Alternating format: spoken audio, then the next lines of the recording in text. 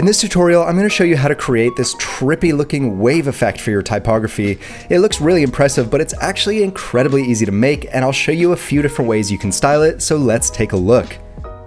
Alright, so to start, let's make a new canvas. So head to File, New, and I'm going to be working with an A4 dimension. Um, so you can create a new document, or if you'd like, I also put together this template which you can download, which has a few colors saved in here already. With your document open, select the text tool by pressing T, and click on your canvas, and type whatever word you want to use. In this case, I'm going to be going with the word vibe. Now let's scale that up a little. It's about right. Uh, and what you're going to want to do is you're going to want to pick a font that's very condensed. So I'm going to be using the DIN font, which you can find for free on the Adobe Fonts website. I'll link to that below as well. It's a great condensed font that I really love the look of. It's nice and bold, and you'll want to kind of create around this size of text on your canvas, something with a little bit of white space around the edges and kind of position it something like this. Actually, let's make sure that's perfectly centered. Just head to align and center it like that. All right, next step, we need to elongate this text. So right click on it and click create outlines. Then use the direct select tool by clicking A on your keyboard or click up here and select the bottom half of the font like this. And basically just drag it down and you'll see that's already looking pretty cool. And you wanna make sure that the space at the bottom is about the same as the top. You can kind of eyeball it. Now, I personally don't love the way that the V gets kind of thin down here, the way that this is stretched. I prefer if this was a uniform size throughout. So I'm going to zoom in here. And again, using the direct select tool, I'm going to click this anchor point and I'm just going to drag it up. Okay, so in this case, it looks like Adobe Illustrator created two anchor points here. So let's drag this one up as well. Zoom out. All right, that's looking much better. Now this is a stylistic choice. Uh, you could choose to leave the top halves of the letters up here at the top. Uh, in this case, I'm going to move the B down to be halfway down. I think it just looks a little cooler and it's a little easier to read. So I'm going to zoom in. Now you'll see if you try to do this, again using the direct select tool, if you select everything like this, um, and you try to move it down, you'll see that this whole line on the left moves down as well. So basically the key is you want to select all of these points here without going over the line on the left here. Um, let's try that. Okay, and now try dragging down.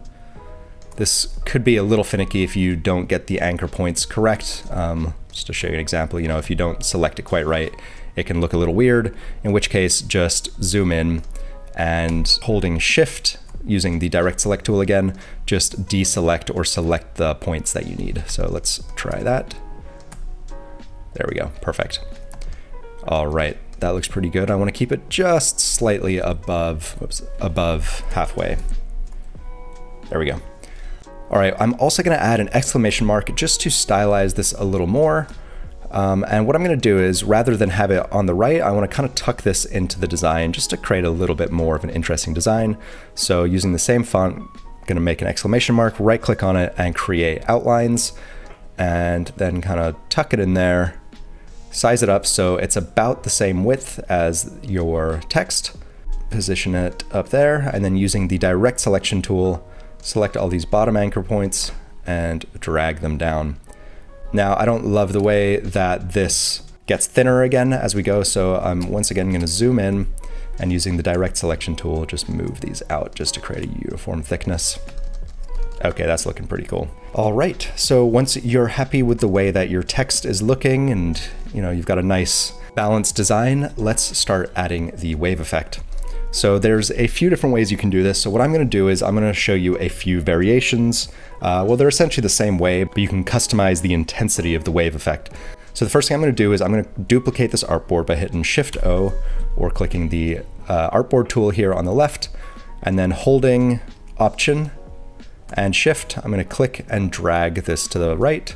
You'll see it just duplicates the entire artboard. I'm going to do that again. All right, so then select the first one head to Object, Envelope Distort, and Make with Mesh. Okay, so the columns you add, it doesn't really matter how many columns you add in this case, but you're to want to play around with the amount of rows. Basically, the less rows you add, the bigger the waves and the less waves you'll have, and the more rows you add, the kind of more intense that wave effect. I'll show you in a second, it's easier to show you what I mean. So in this case, let's start with five rows, and this one over here, let's create, let's do the same thing, object, envelope distort, make with mesh, and in this case, let's do 10. Okay, let's start with this one here. Uh, what we're gonna do, again, using the direct selection tool, hit A, and if you kind of mouse over it, you'll see where the rows are. Uh, basically what you wanna do is click and drag, selecting just a single row, um, the first row, or the second row down from the top. Then holding shift, you wanna select every other row in the design. And what you can then do is use your right key or your left key on your keyboard to start moving things over. And you'll see as you do, it starts creating this awesome, super trippy design. Just like that. Now you can go quite extreme. You can also click and drag this if you want. Um, you can go either direction. I think it looks best when it's kind of like a little wavy, but you can still read the text. So something like that, maybe. There we go. That looks pretty cool. And you'll see now what I mean with the different style. When you come over to here, use the direct selection tool. Let's select that second one. And once again, select every other row and repeat the same thing.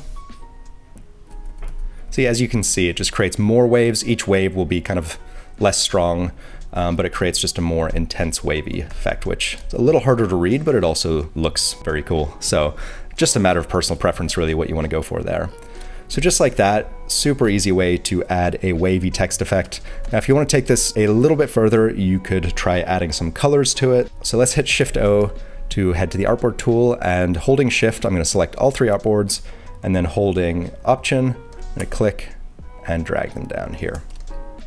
All right, I'm then going to head to the rectangle tool or press M on your keyboard and let's create and drag a rectangle across the first layer. Then holding Command Shift left bracket, send it to the back. You can also manually do it by going to Object, uh, arrange and send to back. But using the shortcut makes life a lot easier. And let's use one of the swatches that I've pre-selected here. Um, that looks pretty cool. Let's also select the text and make that a blue color. That looks pretty cool. Maybe the dark blue might look even better. Nope, I think light blue is looking even better. Uh, another thing you could try doing is adding a gradient. Uh, to do that, press G or click the gradient tool and click and drag. Oh, click on your rectangle first to turn it into a gradient and then click and drag from the top holding shift to create this gradient. To change the colors, click on the gradient panel here. If you don't see that, just head to Windows, Gradient, and that should pop out. And double click the first point down here, head to swatches and pick your first color and then do the same thing here. Pick the second color. Uh, I think that looks really cool and I'm just going to change the vibe to be white. To do that, what you'll need to do is double click it, and then when you click it, you'll see that it allows you to change the color. Let's do that, and then double click to head out of that editing mode again. So that looks very cool, I think. Um, you can also create a radial gradient. Let's do that again. Change this to white. and head to the gradient panel and change it to a radial gradient here. Let's maybe pull this pink out a little. There you go. So there's a few quick and easy ways to create a stylized typographic poster. So I hope you found this useful. If you did, make sure to hit subscribe for more tutorials like this. And if you want to keep leveling up your design skills, check out this playlist right now. Thanks so much for watching, and I'll see you in the next video.